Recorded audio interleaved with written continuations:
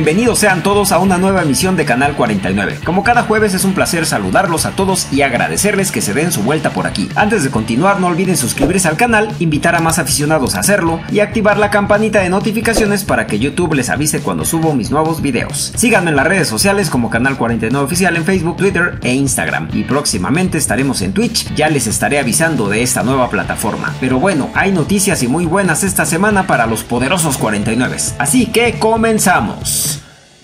Call Niners!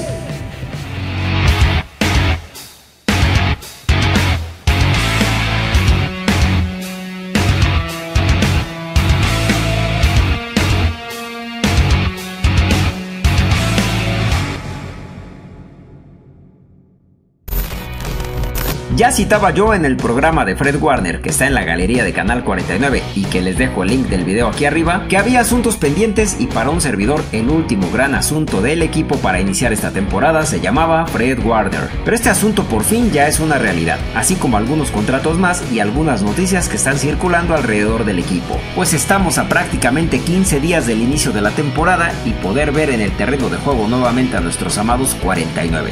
Así que damas y caballeros, en San Francisco se están cerrando filas. Hay mucho que decir de Fred Warner y ya lo he dicho en el programa especial que realicé de él y anteriormente. Warner es un linebacker fuera de serie completamente, y es que el ser tan versátil, dinámico, inteligente y agresivo lo pone por encima de la mayoría de los apoyadores de la liga en este momento. Los resultados, los números y los profesionales, incluyendo Aaron Rodgers, no se equivocan. Tenemos hoy al mejor linebacker de la NFL y por esta razón al mejor pagado en este momento. Y es que este 21 de julio del 2021, Warner firmó por fin un contrato contrato que le asegura su estadía en el equipo por 5 temporadas más. Es decir, tendremos a Fred Warner vistiendo el rojo y dorado hasta la temporada 2025-2026 aproximadamente, si no pasa nada del otro mundo. Algunos especulaban que Warner sería cambiado y no dudo que hubiera interés de más de una organización por los servicios de Fred, pero eso simple y sencillamente no iba a pasar por ningún motivo. Un jugador como nuestro 54 no se encuentra cualquier día ni debajo de las macetas. En Warner tenemos al líder de la defensa y al mariscal de campo de la unidad. Warner le da más tranquilidad a sus compañeros al diagnosticar y ver cosas que no todos ven en la línea de golpeo con sus lecturas pre-snap. Y por fin se le da el lugar que merece, creo yo, pues al no ser tan mediático como Bobby Warner, Khalil Mack, Darius Leonard o Devin White, Fred parecía perderse entre la maleza de linebackers dentro de la NFL. Así que por fin se le da el reconocimiento que merece al convertirse, repito, en el apoyador mejor pagado de la NFL, al menos por el momento. Y esto lo pone en una posición privilegiada dentro de la elite del deporte de las tacleadas profesional. Pero revisemos este contratazo que los 49 le han dado a Warner. Un contrato por 5 años y 95 millones 225 mil dólares, según el portal spotrack.com, con un bono por firma de 12 millones 320 mil dólares y 27 millones 500 mil garantizados al momento de firmar. Y claro, 40 millones y medio totalmente garantizados. Es decir, Fred Warner estará ganando en promedio 19 millones 45 mil dólares anuales. Ahora bien, ¿cómo se distribuirá esta lana en los próximos 5 años? Eso es lo interesante, porque con el contrato de George Kittle el año pasado y el de Williams y Warner, la nómina podría empezar a tener problemas las próximas temporadas. Este 2021 el salario base de Warner será apenas de 920 mil dólares. En 2020, 2 millones 564 mil dólares. Para 2023 será un sueldo de 12 millones 925 mil dólares. Para 2024, poco más de 15 y 2025 y 2026 arriba de 17 millones por temporada además de bonos, roster, workouts, etcétera, etcétera. Lo de Warner es una carga fiscal considerable para San Francisco, pero si Fred sigue jugando a este nivel, durante estas temporadas valdrá cada centavo que se le pague. Sin embargo, el contrato de Warner pega en el dinero muerto al menos cuatro temporadas, pero si por alguna razón los 49 decidieran dejarlo ir en 2025, el dinero muerto sería casi de 10 millones contra los 17 que costaría retenerlo. Matemáticas, números y estrategias, pero al final, business are business. Al igual que el contrato de Kittle, Williams y Juszczyk, el de Warner es un contrato pensado para poderlo negociar a partir de la tercera temporada e ir balanceando el sueldo anual y el dinero muerto. El año más pesado para la organización con el contrato de Warner será 2024, pero antes y después de ese año los números no golpearían tanto a la organización, así que bien por Lynch, Peters, Marat y compañía. Nuevamente un contrato justo en el que gana Warner, ganan los 49ers y gana la afición, es decir, ganamos todos. Por otro lado, al cierre de esta edición se dio a conocer de manera extraoficial que Trey Lance, la flamante tercera selección global de los 49 en el pasado draft, ha firmado su contrato de novato. Un contrato nada despreciable por 4 años y 34 millones 105 mil 350 dólares, con un salario base para 2021 de 660 mil dólares, según overthecap.com. Y se estipula la opción de quinto año. Pero ojo, un tema interesante sobre el sueldo de Lance es que los impuestos que tiene que pagar en el estado de California lo dejaría con alrededor de 16 millones netos de esos 34. Y es que, como ya lo habíamos mencionado antes, California es el estado de la Unión Americana que más impuestos cobra, pues ninguno de los otros 49 estados recaudan impuestos tan altos. Por ejemplo, el contrato de Trevor Lawrence es de 36.7 millones, pero él no pagará impuestos sobre la renta y solo pagará impuestos federales que ascienden a unos 13.6 millones. Así que para quien esté pensando que le están pagando mucho a Lance, la respuesta es sí y no, pues a la organización le costará arriba de 34 millones, pero él solo recibirá 16. La NFL debe urgentemente revisar su tabulador en cuanto al tope salarial, pues a los 49 es a la organización que más le pega este tema, mientras que otros equipos como los Tejanos pueden explotar su dinero al máximo al no pagar impuestos de este tipo. Como sea, nuestro coreback novato ya es un 49er oficialmente por los próximos 4 años y esperemos que muchos más. Los 49 llegaron a un acuerdo con un miembro clave de su clase del draft, el equipo anunció ayer que han firmado al corredor de tercera ronda, Troy Sermon, con su contrato de novato. Según Matt Mayoko de NBC Sports Bay Area, en Twitter, el acuerdo de cuatro años tiene un valor de 4.87 millones de dólares. Sermon pasó sus primeros tres años de universidad en Oklahoma, incluida una gran campaña de 2018 en la que terminó con 1.128 yardas y 13 touchdowns. Tuvo poca acción en 2019, lo que lo llevó a su transferencia a Ohio State como estudiante de posgrado. Durante su única temporada con los Buckeyes en 2020, 2020, Sherman corrió para 870 yardas y 4 anotaciones en 116 acarreos. El corredor mejoró su stock de draft con una destacada actuación en postemporada. Tuvo un juego increíble contra Northwestern durante el Big Ten Championship, estableciendo un récord escolar de un solo juego con 331 yardas terrestres. Agregó otras 254 yardas en el Sugar Bowl. Los 49 terminaron seleccionando al jugador de 22 años con el pick número 88 en el draft de este año. Una lesión de Jeff Wilson podría abrir la ventana para que el novato tenga oportunidad de mostrarse, aunque muy probablemente empezará detrás de los veteranos Wayne Gallman y Raheem Monster para comenzar la temporada. Sin embargo, me parece que su contratación es una excelente noticia para los gambusinos. Sobre el caso de Sherman no ha habido novedades. Sigue en el proceso legal y de rehabilitación. John Lynch, el gerente general de los 49, ha hecho público su interés por ayudar al esquinero estrella en lo que esté a su alcance. Veremos qué sucede en los próximos días o semanas con el caso Richard Sherman. El próximo martes 27 de julio se presentarán veteranos y novatos del equipo a las instalaciones y se espera que comiencen los entrenamientos en el campo el sábado 31 de julio. Los primeros días serán para exámenes físicos y reuniones de equipo antes de que comiencen las prácticas, y de ahí se vienen fechas muy importantes, pues el roster con el que comenzarán la pretemporada los equipos de la NFL será de 90 jugadores. El primer juego de pretemporada para los Niners será el sábado 14 de agosto recibiendo a los Kansas City Chiefs. Después de ese partido, el roster se deberá reducir a 85 jugadores a más más tardar el 17 de agosto. El segundo partido de pretemporada será el domingo 22 de agosto visitando a Los Angeles Chargers. Después de ese encuentro se deberá reducir el roster a 80 jugadores, a más tardar el 24 de agosto. Y por último se jugará el domingo 29 de agosto recibiendo a Las Vegas Raiders y aquí vendrá el último y más numeroso corte del equipo al tener que dejar en 53 jugadores el roster final antes del 31 de agosto. Para comenzar la temporada regular el 12 de septiembre contra Detroit. Así es que la temporada ya está a la vuelta de la esquina. that. Como verán amigos, esto ya empieza a oler cada vez más a NFL. Cada día nos acercamos más al inicio de una temporada que promete muchas emociones y para los 49 no es la excepción. La firma de Warner nos emociona a todos, la firma de Lance nos ilusiona, la de Sermon nos hace pensar que el ataque terrestre estará completo. El regreso de jugadores como Bosa, Tart, Williams, Garoppolo, Monster nos proyecta un equipo muy fuerte para el 2021. Es hora de empezar a desempolvar los jerseys, las gorras, las chamarras y demás, porque la NFL está amigos míos, a la vuelta de la esquina. El pasado lunes tuve la invitación de mis carnalazos del Gold Rush México, club de fans de los 49ers en este país, y hablamos de algunos temas bien interesantes de los 49ers. Aquí les dejo algunos fragmentos de esa plática, espero que la disfruten. Este, tenemos invitado especial el día de hoy, vamos a recibirlo con todo. Este, Pablo Ledesma de Canal 49, este, hiper mega padrino, también este músico, cantante, de, todólogo, mi hermano, analista, crítico. Bienvenido, Pablo, ¿cómo estamos?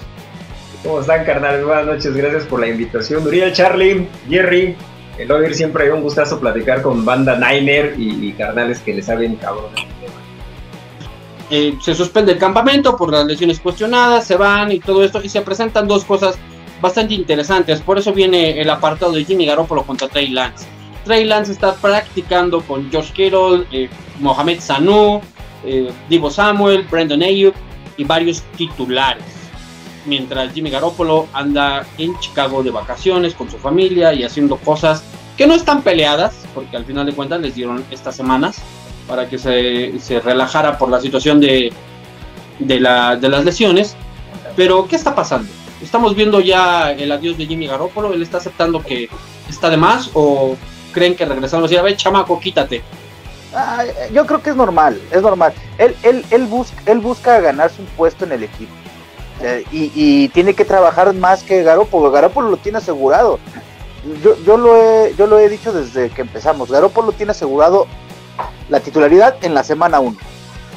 Entonces no, no, no se me hace extraño que Trey esté trabajando de más porque finalmente tenemos un coreback titular y aunque a muchos no les guste o muchos no les guste, Jimmy Garoppolo es nuestro coreback titular. De la semana 1 a la semana 5 yo considero que va a ser inamovible, a menos de que venga una, una, una lesión y también después de la semana 5, si, ven, si ve Kyle Shanahan que no está dando el ancho, quizás haya una oportunidad para Trey Lance, pero yo creo que en este momento es normal. Los jugadores que vienen drafteados los jugadores que están eh, que llegaron al roster tienen que ganarse un lugar sea como sea y Trey Lance lo está haciendo de esa manera.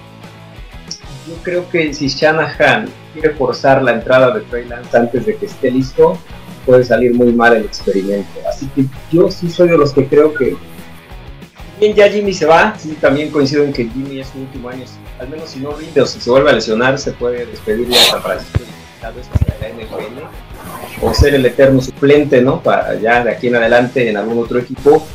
creo que lo que más nos conviene es que, una buena temporada para que Lance lleve bien su proceso y entre cuando tenga que ser, eh, un año, dos años, no sé, y este y, que no vayan a, quemar el cartucho y toda la presión mediática hacia Lance va a ser muy complicado.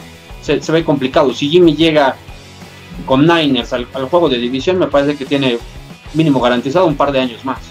Y volvemos, eh, te digo, es suena lógico, ahorita igual con, con Lance, la, ¿por qué se firmó a, a, Jimmy? Porque estaban hambrientos de un coreback, no se esperaron a, a un proceso nuevamente, entonces que agarraron y trajeron al segundo de los Pats entonces, ahorita es lo mismo, o sea, te voy a decir, o sea, y lo he dicho, los fans de los 49 son como muy, muy extraños, o sea, todo quieren rápido, express, o sea, no va a ser express esto. Eh, el equipo, el staff, dice, pues es que a lo mejor sí, sí la calabacemos mucho en pagar tanto por alguien que no estaba probado, ni, ni en Pats tampoco, ¿no? O sea, pues como ya bien lo decían, es un, es un coreback de, es un segundo coreback. Eh, eh, y pues no estaba tampoco tan probado. Él vino a hacer sus mejores, sus mejores actuaciones acá en Niner porque también estaba hambriento de esa titularidad por la que por la misma que está peleando, que va a pelear Trey Lance ahorita, ¿no? Entonces va a empezar a hacer las cosas tan bien como lo, como lo hizo Jimmy G en su, en su momento.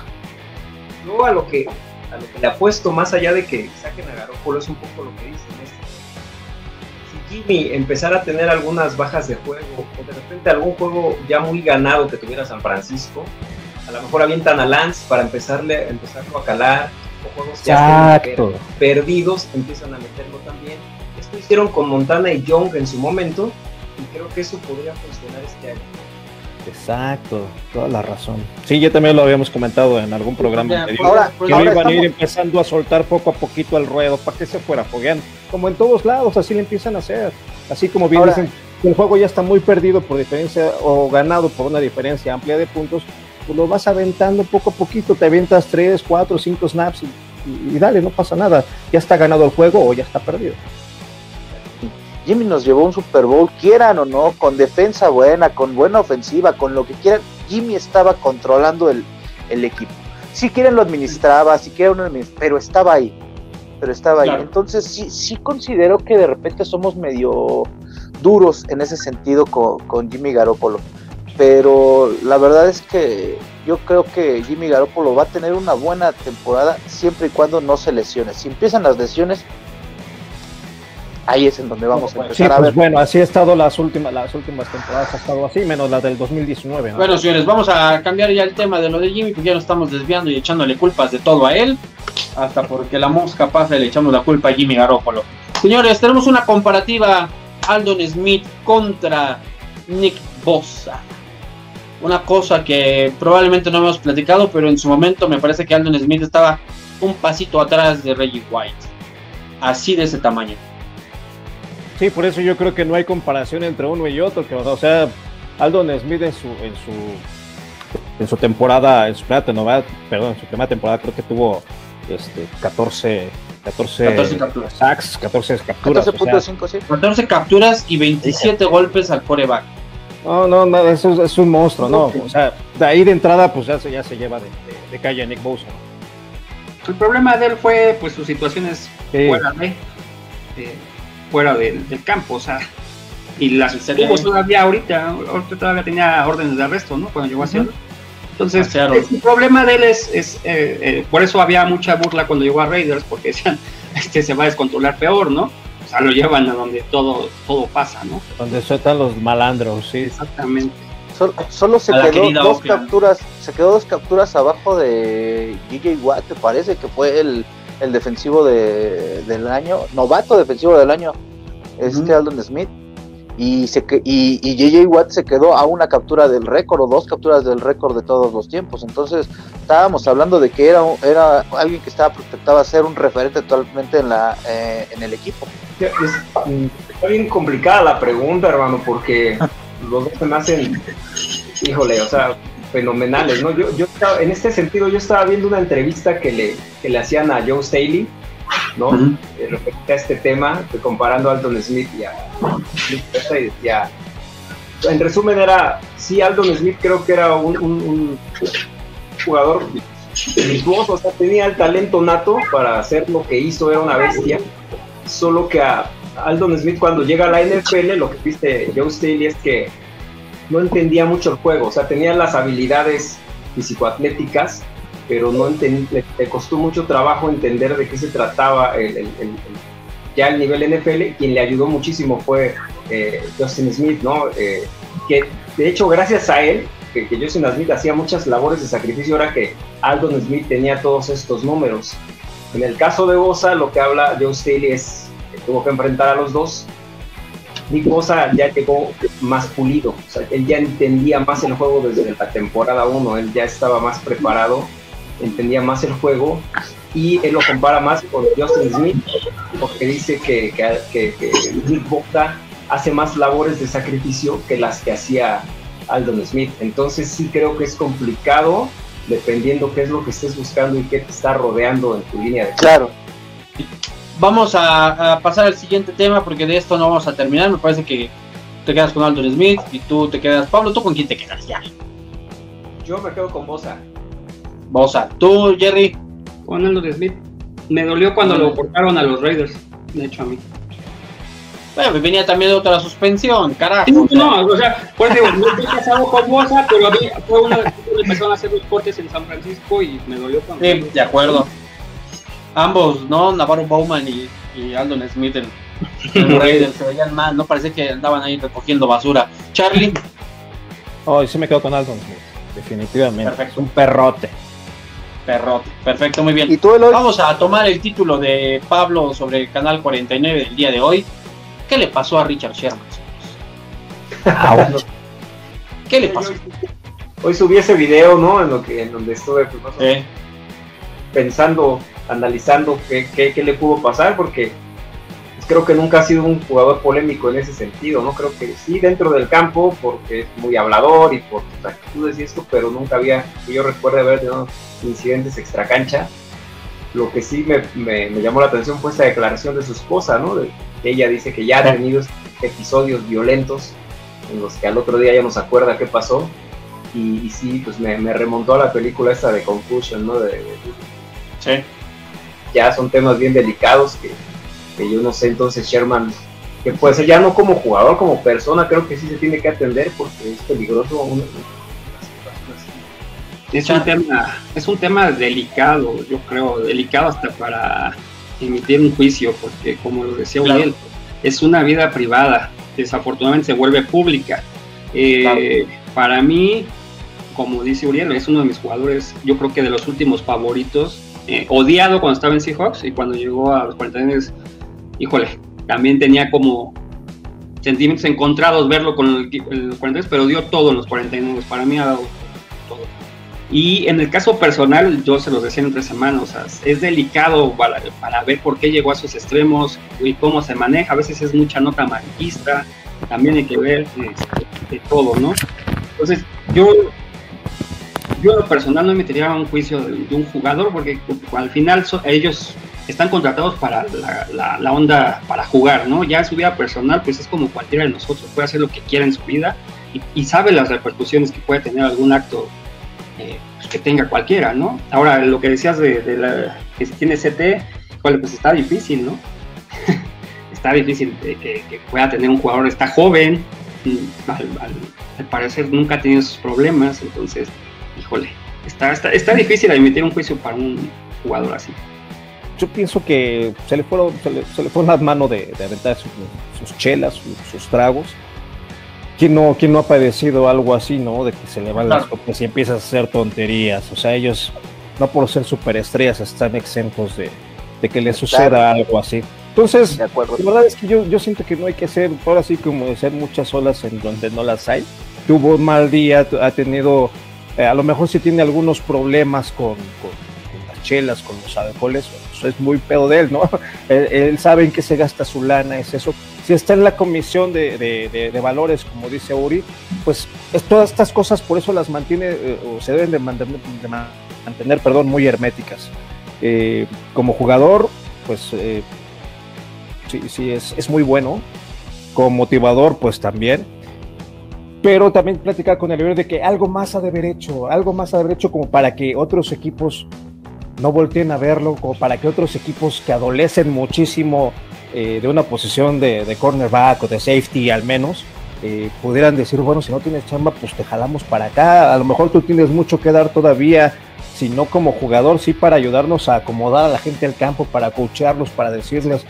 Entonces, el hecho de que ningún equipo, ninguno de los 32 equipos voltee a verlo, ahí me hace dudar o me pone a pensar de que algo más hizo y que todos están enterados de esas, de esas situaciones como para no darle chamba, ¿no? Ahorita. Fuera de fuera de fuera de lo de el, problema este que tuvo ahorita no de que se le pasaban los alcoholes y todo. Fuera de eso. Algo para mí yo para mí yo siento que algo algo algo habrá hecho o algo hizo y que, y que la liga sabe y que por eso no lo contrataron porque una baja de juego así muy muy latente no la tiene. Sí lo mismo creo que Garoppolo va de titular desde la semana 1 hasta que acabe la temporada hasta donde podamos llegar. Lo único que puedo pensar que lo va a sacar, es una lesión, lo cual tampoco veo que pueda ser tan complicado. Jimmy ha demostrado ser muy, muy, muy frágil.